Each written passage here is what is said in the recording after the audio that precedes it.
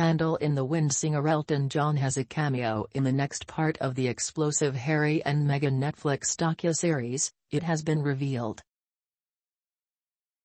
In the trailer for the second part of the six-part series the music legend is seen in photographs taken from Prince Harry and Meghan's wedding reception. In the trailer pictures from the wedding are interspersed with footage of the pair sat on a sofa talking about their first dance and how much fun they had with the guests who were celebrating with them. Meghan Markle said, I just really wanted the music to be fun. Even our first dance, but it is clear she cannot remember exactly what their first dance song was called and ruminates about whether it was called Song of a Thousand Dances and says she always gets it wrong. The royal family are said to be very nervous about the release of the final three parts of the documentary series, which are focused on the Sussexes' wedding, the birth of their firstborn Archie Harrison in 2019 as well as Meghan and Harry's decision to quit as senior royals. Sources fear there is a chance the program will become even more inflammatory than the first three episodes and will be targeted at the royal family. One source told The Times, next week will be poison. Despite being watched around the world, royal experts say the Netflix show hasn't gone down as well in the States as Meghan and Harry would have hoped, with many now turning their backs on the couple.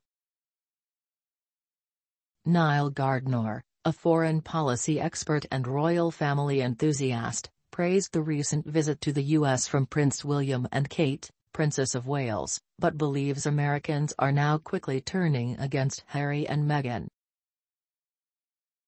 He told Express.co.uk, the Prince and Princess of Wales had a hugely successful visit to the US.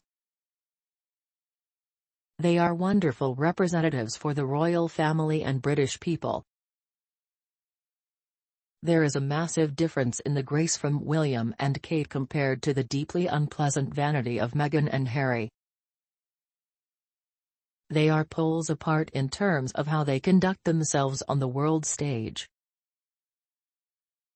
Mr. Gardiner added, the future is in very safe hands with William and Kate, and the American people clearly love them.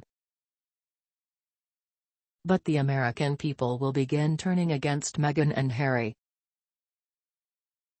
They will be popular with the liberal left-wing elite but increasingly unpopular with the American people.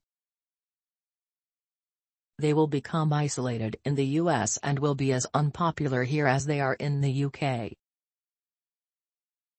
Americans don't like vicious attacks on the royal family. The monarchy remains extremely popular in the U.S. Prince Harry and Meghan Markle's Netflix documentary has sparked discussion across the globe, with three episodes still to come next week. The couple's first episodes looked at their romance and subsequent engagement and marriage, shedding light on how the couple felt as their lives changed. They spoke about racism, Meghan's first impressions of the royal family and Harry's late mother Princess Diana.